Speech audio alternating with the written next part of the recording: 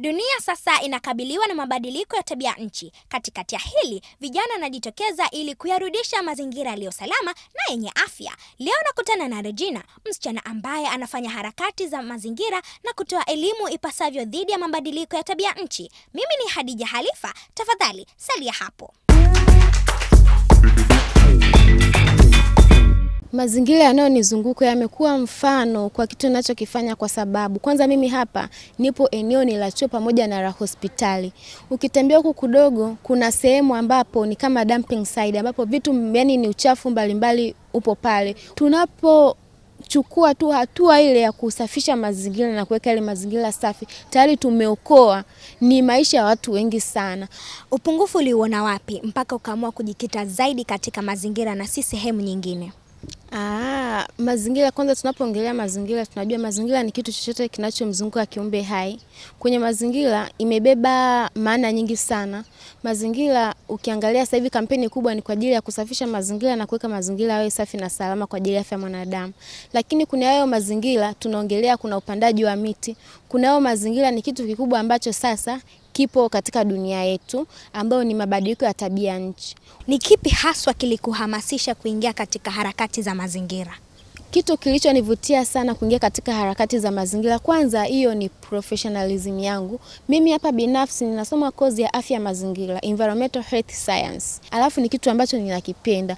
Kuweka mazingira safi ni jukumu langu kwanza, mimi binafsi lazima nihakikishe mazingira yanakuwa safi na salama kwa ajili ya afya bora ya mwanadamu. Elimu unayotoa inasaidia jamii kwa namna moja au nyingine. Elimu unayotoa imetusaidia kufanya kitu kimoja au kingine. Kwa hiyo mapokeleo pia katika jamii, jamii inapokea vizuri. Waswahili hawakukosea kusema kwamba ukikaa karibu na uwaridi basi na wewe utanukia. Kando yangu ni rafiki yake Regina. Kwake nataka kufahamu ni vipi ananufaika na harakati anazozifanya Regina. Uh, mimi nanufaika sana na elimu ya mazingira. Uh, nimejifunza vitu vingi sana kutoka kwa Regina kwa sababu Regina ni, ni, ni afisa mazingira.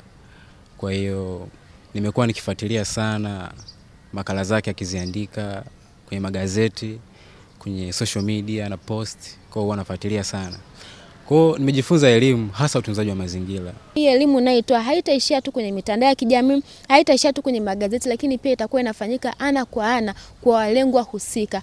Kwa hiyo kwa kadi ya siku zinavyoenda na Mungu akisaidia, tuna mipango mikakati mikubwa sana ya kwenda sehemu mbalimbali, vijiji mbalimbali. Tunatafuta mabalozi popote pale, labda tuseme ni Shinyanga, kuna wadau wa mazingira. Je, watawafikiaje watu waliopo kijijini kwa ajili ya kutoa elimu kuhusu mazingira na mazingira yakiwa yawe safi na salama kwa ajili ya afya ya mwanadamu. Tunafanya shughuli nyingi sana ambao kwa asilimia kubwa zinaathiri mazingira ambayo tunayaishi.